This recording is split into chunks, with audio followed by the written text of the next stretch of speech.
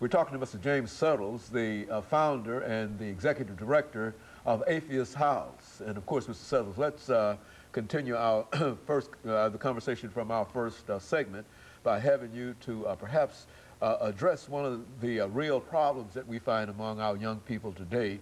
And I think it goes back to what you described as your own personal mentality. That is to right. get rich or die trying. And I say that because that's a very, very popular uh, concept and a movie and et cetera that a large number of individuals are sort of attracted to. And so let's talk about it from that perspective.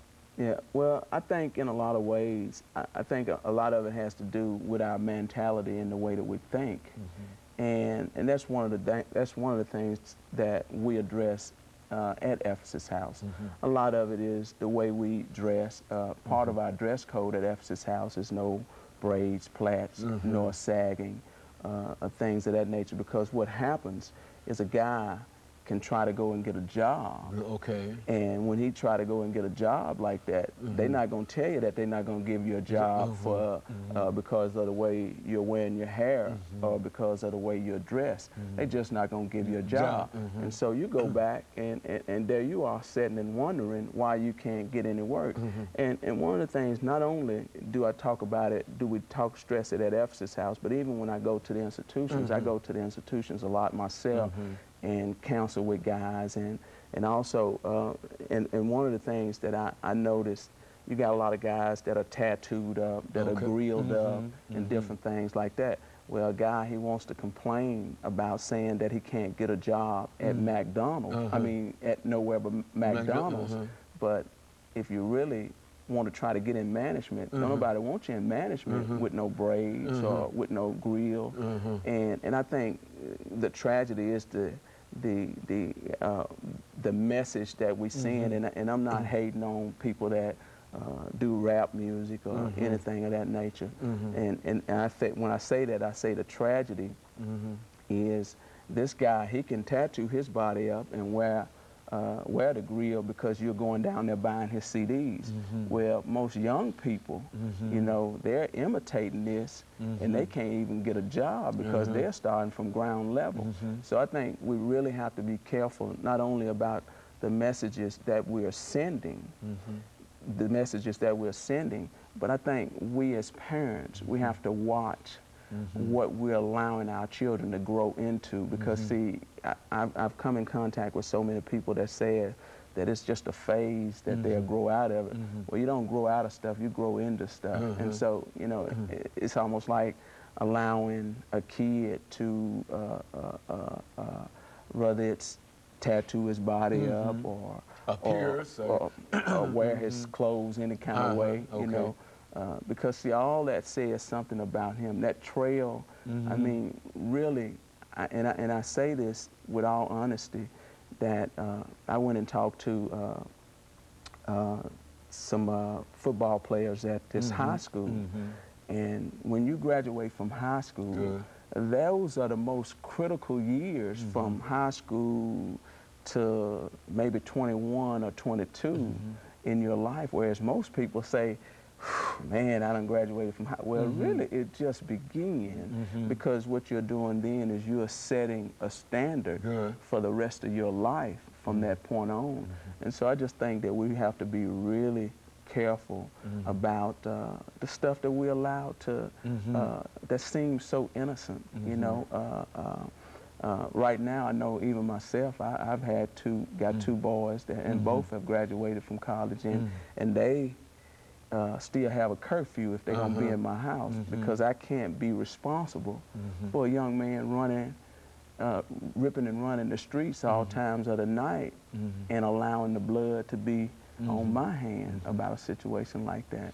So um, it's just, I just think it's very important about how we communicate to our young people, and especially my generation, I really believe that we have done mm -hmm. our young people such a disservice mm -hmm. by not mm. uh, uh, uh, uh, being the proper role mm-hmm. model -hmm. that we uh, mm-hmm. should have been. Mm-hmm. and I and I really, I'm, I'm, I am really sad about that, and that's one of the reasons why I dedicate my life to doing what I'm doing today been in business over 11 years after after I got out of prison out in 1993. Yeah.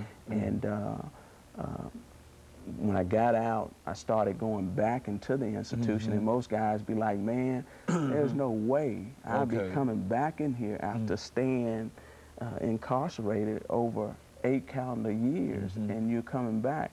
Well, one of the things that the Lord was dealing with me about is is that He who is greater of most Okay. must be serving the most. And what I mm-hmm. mean by that is I think God delivers us from things Mhm. and he don't just deliver us from things to constantly buy bigger houses and bigger cars. Okay, I think he mm-hmm. delivers us from things so mm-hmm. we can reach back and try to share with others that there's a way out. And when I say that, I struggle with drugs and alcohol and uh, uh, started off trying to sell drugs, but ended up getting caught up. And but I'm thankful that uh, I can honestly say that uh, I haven't used drugs since 1986, and, uh, and and and I think that's part of me trying to really stay focused Uh-huh. to uh, uh, what is really happening. It's almost like, you know, I've talked to uh, a lot of people that uh, we we act as if it's just a black thing, but it's really Okay. it's a human thing, It man. It's it's mhm. not just black people. It's a it's a human race deal, and and I think I'm always reminded of Dr. King. You know, uh, him and Malcolm X was having that conversation, and, and he was just so uh, caught up in the human race. And, Okay. and, and I just think that's where we have to be because, you know, it's not just about the black kid, but it's about any kid that is uh, coming up in a Mhm. dysfunctional environment and, and you being able to uh, mentor and give some guidance to.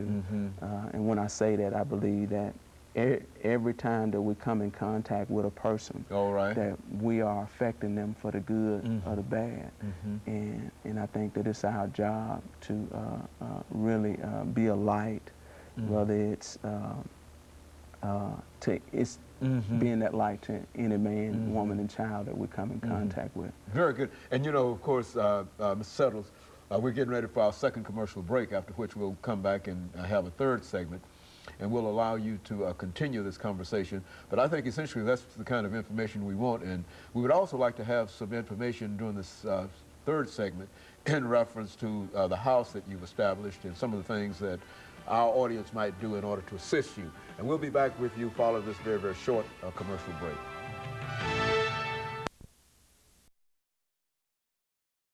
We're talking to Mr. James